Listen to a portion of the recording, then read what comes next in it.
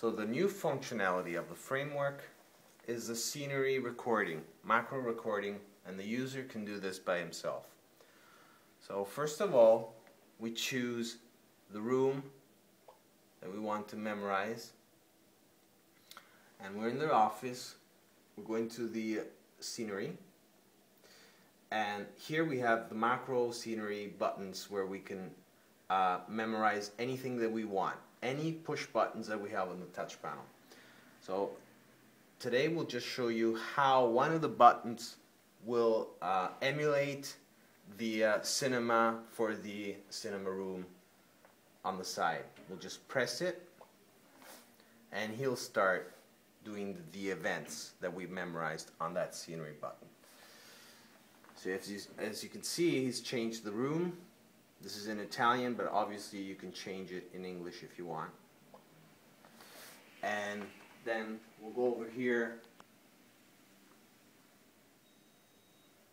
and we'll move over to the video cinema room and as you can see he's already dimmed all the lights and he's starting up the projector.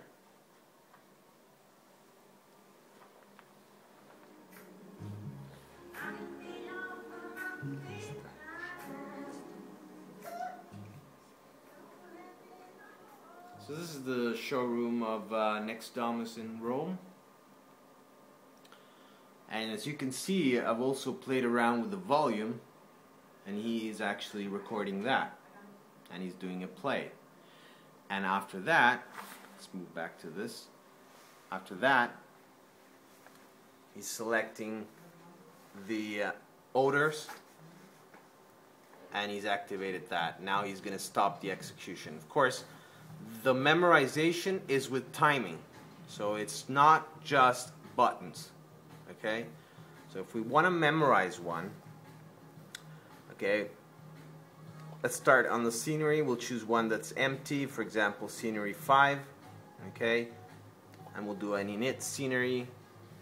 And for example, we'll go into the office and let's just change the language so that we've got it here okay? And uh, and then we'll go inside lights and turn on some lights okay?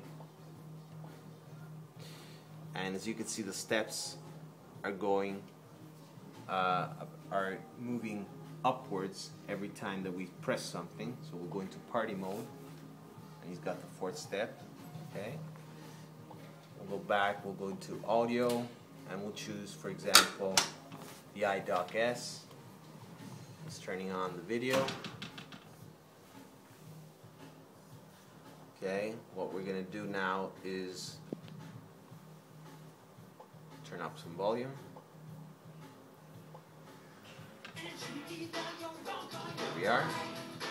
Okay, and maybe we can just dim some lights put them all off.